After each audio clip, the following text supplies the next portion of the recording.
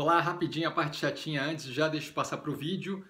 Como disclaimer, para a galera prestar atenção, as opiniões que são exibidas aqui em todos os vídeos do canal refletem pura e simplesmente a minha opinião pessoal, tá? E a forma como eu invisto não são de qualquer forma, modo, em geral, indicação de compra ou venda de qualquer ativo do mercado financeiro, tá? E agora o vídeo. Olá, Cassiano Bittencourt pela Visão do Estrategista, hoje para comentar o resultado da Ares do terceiro trimestre de 2020, bem positivo, mais do que isso. Grande parte das movimentações que a gente esperava foram finalmente feitas para vários lados, né? a compra da reserva, da troque, da a abertura oficial do Zezemol.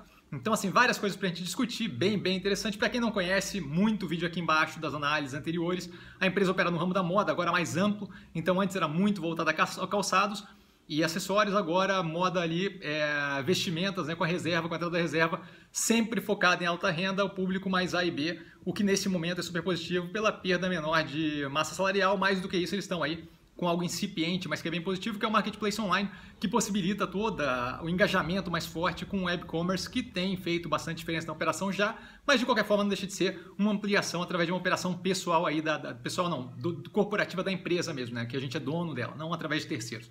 Então, a operação, voltando à normalidade, como esperado, a gente vai ver isso aí nos números. É, a gente vê pela, pelos números de sellout aí que ainda falta, mas a gente vê uma evolução com alguma outra é, baqueada ali no meio do caminho, mas mês a mês tem uma evolução. De qualquer forma, um resultado bem mais positivo. Receita bruta com queda marginal year on year, então a gente tem aí uma queda de 2,4%, como dá para ver na tela. A gente vê que o suporte foi agressivo pelo web commerce, o que mostra justamente o dinamismo da empresa entrando em efeito aí, evitando a gente ter uma perda um pouco maior durante esse período. Os números ali, a receita bruta, por exemplo, já, já se equipara muito próximo ao que teve no terceiro trimestre de 2019, tá? Compensa o web service as áreas aí com mais dificuldades. A gente vê a melhoria contínua do canal web, tá? do canal ali do, de web commerce, com implementação contínua de iniciativa Omnichannel. Esse é o ponto que eu acho que é mais importante. A gente quer que chegue tudo aquilo ali a 100%, para que todas as lojas possam, de fato, operar com o Omnichannel de forma que vire, de fato, um ecossistema fechado ali é, que possibilite maior agilidade na venda, entrega e por aí vai. O EBITDA bem mais palatável, uma queda de 18,1%, sim, é uma queda grande. A gente vê a queda da margem de 17,5% para 15,2%, isso falando year on year versus o mesmo período do ano passado. E essa queda mais agressiva do que a receita bruta e do que o lucro bruto, que está aí na lateral também, é pelas menores margens da venda online, que acaba tendo, porque tem um aumento maior do custo comercial causado aí por frete, é, fulfillment e por aí vai. Então é natural que quando a nossa venda é maior, é, tem uma maior participação online, a gente tem aí um, um EBITDA um pouco mais pressionado, nada que me preocupe. Uma volta ao lucro que tem uma queda de 21,3%, mas que não deixa de ser bem positivo, com uma margem de 6,7% versus 8,1% no terceiro trimestre de 2019, ainda assim um lucro considerável, especialmente ainda saindo desse momento é, pandemia, eu peço desculpa pelo caminhão, volta à posição de caixa líquido, já conquistado em julho, como a gente tinha comentado na análise passada, mas de qualquer forma uma manutenção aí, um, um caixa líquido que permite, inclusive, aí fazer um movimento ou outro a mais aí que a empresa tenha de interesse é, nesses próximos meses, inclusive é, possibilitar a abertura de lojas que a gente vai comentar daqui a pouco.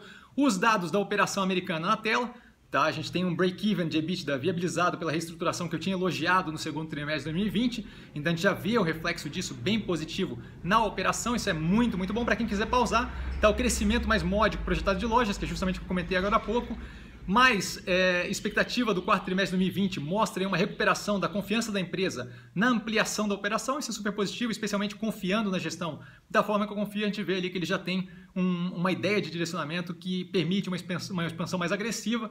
Tá? E agora vem a parte que de fato faz a diferença, que é justamente focado é, naquele guarda-chuva de marcas, no House of Brands, é, onde a gente vê a abertura de várias avenidas para crescimento que já estavam aguardadas, algumas delas, outras são novidades. De qualquer forma, eu vejo ali duas com reflexo marginal, pelo menos inicialmente, três que fazem muita diferença e uma que vai depender bastante do encaminhamento e da aderência disso com o público final. Não deixa de criar valor intangível, mas a gente vai comentar uma uma aqui, tá? A colaboração com a Marina Rui Barbosa e a marca Ginger, que acabou combinando com a mesma virando diretora é, de moda no grupo, é positiva, mas não é muito relevante comparativamente. Eu acho que ajuda bastante na questão de ela ser é, de ela acabar tendo influência, né? ela tem ali quase 40 milhões de seguidores, então acaba ajudando, dando mais moral para a marca. A marca dela tem toda uma questão de posicionamento, de é, foco no feminismo e por aí vai, então acaba dando uma imagem a mais, gera mais valor intangível, gera mais uma, uma conexão ali com mais uma pessoa que é influente. Nesse, nesse mesmo meio aí a gente tem a segunda, que eu também não vejo com muita influência, mas não deixa de ser positivo, que é a colaboração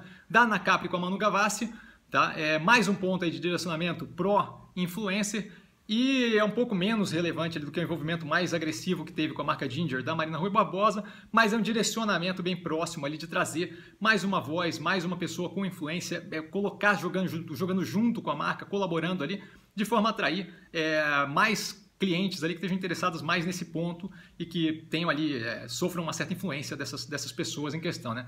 O lançamento da linha Brisa, e aí já passa para a parte mais pesada, que de fato eu acho que vai fazer muita diferença, que eu achei muito positivo, é muito positivo, tá? E aí a gente está falando de chinelo estilo havaiana, sandália de dedo e é, bolsinha daquelas injetável de, de borracha, tá? É, eu vejo como muito positivo, especialmente a intenção deles de aquilo ali virar uma standalone brand, então vai no direcionamento de alinhamento com o guarda-chuva de marca, com House of Brands, tá? É muito, muito positivo, chance de virar uma máquina de fluxo de caixa simples e eficiente é, de adicionar a caixa e adicionar a geração de fluxo de caixa à operação. Então, assim, claramente um ótimo movimento.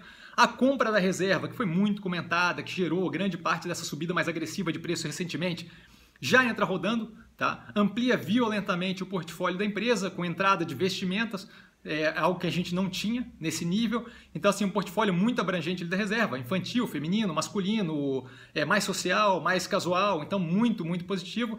Muito forte no Omnichannel, a empresa já vem toda alinhada, está sabendo fazer esse parte de Omni muito positiva, eles têm ali 37% do, das vendas por Omni, enquanto a Arezzo está com 20%, então assim, a gente tem aí coisa para aprender, aí a sinergia já começa a ser endereçada, a gente tem os sapatos que eles vendem já passando a ser produzidos pela Arezzo, então acaba gerando aí um, um, um faturamento que a gente jogaria para um terceiro, já vem para dentro da, da, da, empresa como um todo, do grupo, né, Arezzo Co., e o detalhamento da operação de M&A na tela, para quem quiser dar pause, já foi aprovado pelo CAD, tá? Então eu estou pegando um pouquinho depois da teleconferência, a teleconferência ainda não havia sido, agora a gente já tem a aprovação do CAD, tá? Como último ponto, último ponto não, desculpa, como terceiro ponto aí, desses muito relevantes, eu tenho ali a abertura oficial do Zezemol, Tá? Começa com 30 marcas, um esquema de marketplace super, super positivo, deve dar mais uma avenida agressiva para a operação da empresa.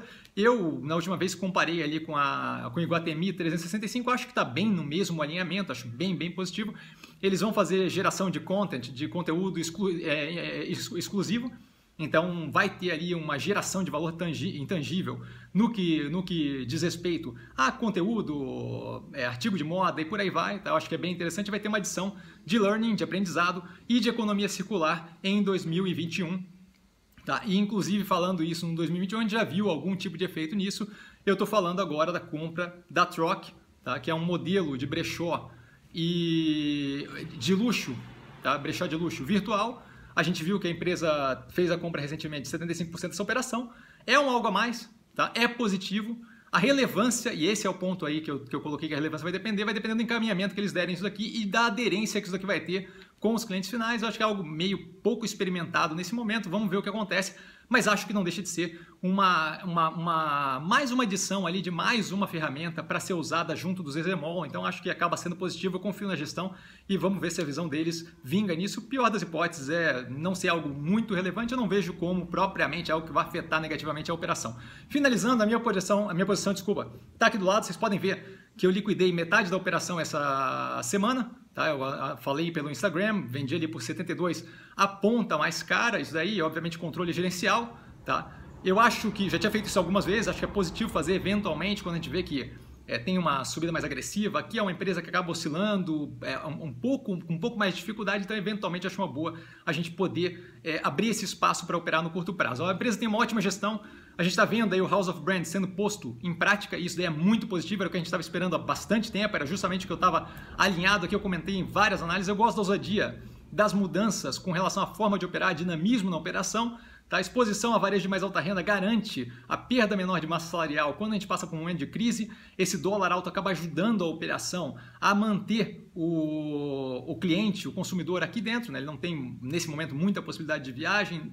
Comprar em dólar roupas do mesmo padrão acaba sendo é, mais caro e não deixa de favorecer a operação dos Estados Unidos que a gente tem lá fora. Acho positivo a realização de parte da operação. No meu caso, foi 50% da posição total, tá? Em, nas carteiras como um todo, minhas e de cliente, minha de cliente, Tá? É, e viabiliza operar, justamente ter um caixa mais ali para operar esse, essa operação específica no curto prazo, caso a gente veja algum tipo de correção, algum tipo de queda, tá? após essa forte evolução de preço. Ainda ficamos posicionados, então ainda tem metade lá. Tá? Eu já tinha feito isso outras vezes, como eu comentei, então vejo como bem positivo.